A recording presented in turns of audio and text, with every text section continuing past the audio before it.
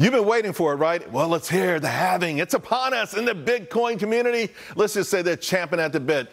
And why not? Take a look at that. I think this will be the fourth run, right? The prior three all saw strong rallies over the next 12 to 18 months. Let's bring in Coin Stories podcast host Natalie Brunell. All right, Natalie. So, is there a chance, though, that when this initially happens, we could actually get the old buy the rumor, sell the news kind of thing? Sure. I mean, a lot of this has been priced in, so I think we can expect short term volatility right. as usual. But long term, the price has been trending up, and we've actually never seen a new all time high in a cycle prior to the next halving. So things could get a little spicy here. We've got them on the chart here. I mean, so it's just amazing. The first one, I mean, just it's just absolutely, it's hard not to be enticed by what we're seeing here. Again, over a certain period of time. Yeah, the logarithmic chart is always really expressive of the fact that Bitcoin is just going up in one direction. But, you know, a lot of people can get kind of confused. What is the halving? Because we've never had an asset that has this baked in reduction in the incoming supply, regardless of the demand. But I really think it demonstrates the elegance of this programmatic monetary policy that really is an elegant set of rules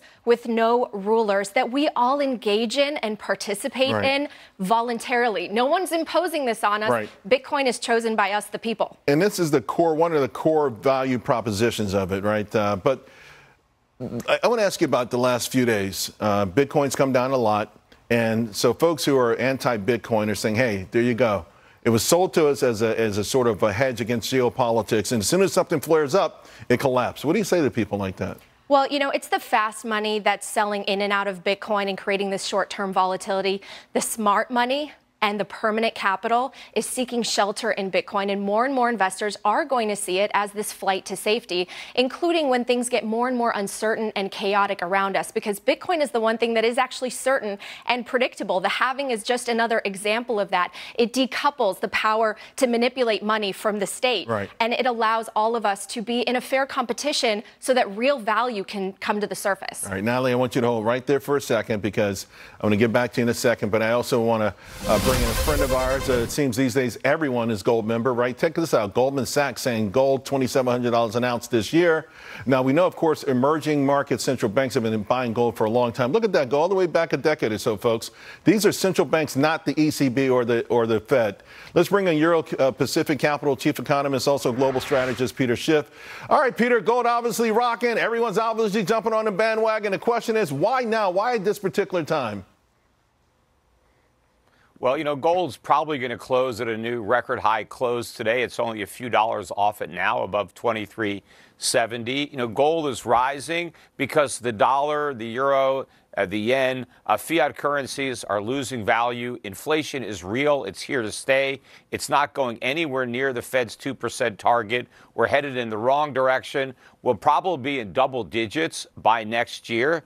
And eventually, the first digit isn't going to be a one. Uh, central banks are out in front of this. They're the main buyers. You know, right. a lot of Americans have been foolishly selling their gold to buy these Bitcoin ETFs. You know, there's nothing elegant about losing your money in Bitcoin. Bitcoin is not going up. In fact, Bitcoin peaked two and a half years ago at about 37 ounces of gold. As we speak now, it's worth less than 27 ounces. That's a 27% decline in two and a half years. This is a bear market. Right. Bitcoin is going much lower than this. If Natalie were smart, as soon as this segment is over, she would sell all of her Bitcoin.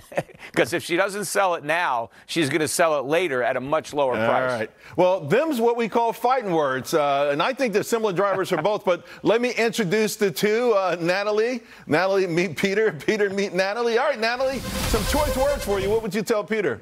Oh, I know, Peter. And you know what? Bitcoiners don't feel the need to constantly attack gold because we're not threatened by gold. And the reason that we have this failed fiat experiment that has impoverished our nation is because of the defects of gold. The fact that it's not easily portable, it's not easily verifiable, it doesn't offer instant final global settlement. And so, you know what? Centralized authorities hijacked it, they papered over it, and we have a system of leverage and rehypothecation that hurts the working class. Bitcoin is immune to all of that. It is the savings account for billions of people that we really need and, and can most rely on, and it mm. offers that final global settlement that we need. And so gold is the analog version of sound money, but Bitcoin is the digital version, and that's why it's going to be the faster horse yeah. in this race. Peter? There's there, there's nothing sound about Bitcoin. It's losing the race right now. Take a look at your screen. Gold is up $25, 26 dollars, and Bitcoin is getting clobbered. You know, there, there is no flaw in gold. Gold worked great for 5,000 years. The problem is the flaw is with governments. The flaw is with human beings, not with gold. Uh, but Bitcoin is, is really flawed because it doesn't have any actual value. Gold is the most useful metal on the periodic table. That's why it's money. Now, it has great characteristics that make it better money than other commodities, but absent its intrinsic right. value, it, it, couldn't be money. And Bitcoin has no intrinsic value. It's well, just a digital let me jump string in one second of because, numbers. Because and any, all of this anything, is just a bunch of hype. Anything could be money, right? On the island of Yap, they used to have big stone uh, stone money. Anything could be money uh, if people uh, use it as an exchange. And this is the thing. But that's I, because but, they. But here's the thing, though. You have to no, admit, no. Bitcoin is on the rise. Wall Street has embraced it, uh, and this is just a tiny speck. I mean, could you imagine? Could you imagine, Peter, at the rate uh, of, of recognition, if Bitcoin keeps going at this rate, it's hard to deny it could go substantially higher.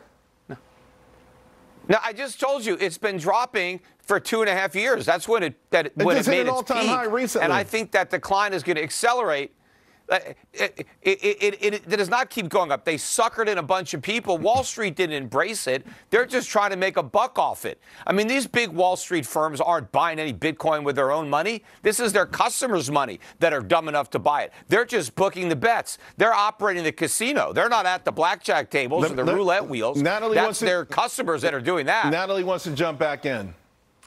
You know, if you look at the short term, Bitcoin is going to be volatile. But if we zoom out, Bitcoin has outperformed gold. In fact, when Hamas attacked Israel, since then, Bitcoin is up 125% and gold is up only 27%. So let's really look at the numbers that we're seeing. And the best thing about Bitcoin is, again, no one controls the ledger, whereas gold is really vulnerable to centralization and top down control, which is why we need a system that Remember, is a neutral place I, to store your wealth. We need a neutral system Natalie, and protocol even oh, compare. That is Bitcoin Peter, for the why digital can't someone own Bitcoin. both? Why, why, can't someone have exposure to both? Yeah, well, first of all, Bitcoin has outperformed everything. So don't compare it to gold. It's outperformed stocks, real estate, bonds, collectibles. That's because it's a gigantic bubble. No, if you want to own Bitcoin, I, I don't care. If you want to lose money in Bitcoin, go right ahead. Doesn't bother me. But I'm trying to help give people advice as to what to do with their money. And if they want to have an investment portfolio, Bitcoin has no part in it. But, you know, if you like gambling, if you want to take some of the money that you we're going to take to the racetracks or buy lottery tickets with or go to Vegas, if you want to take some of that money and gamble on Bitcoin or any of the other 20,000 cryptocurrencies that are out there, go right ahead. I mean, it doesn't bother me, but I don't want to buy any Bitcoin. I mean, sure, had I bought Bitcoin years and years ago when I first learned about it, yeah, I could have made yeah, a lot of money yeah, selling yeah. it now you to the greater fools. right. But I didn't do that. That's something but he said on my show. He wishes he bought Bitcoin. Yeah. So, so Natalie, bottom line though but is I'm not going to buy it now. And Natalie, look, you're going to wish you sold Bitcoin. Mark my words. All right. You're going to be ruining you know, the day. We, we, God, we, we take all of this stuff, If Peter. I'd only sold my Bitcoin, I'd we, have had a lot of we money. We got 30 seconds left. I got to give Natalie the last word.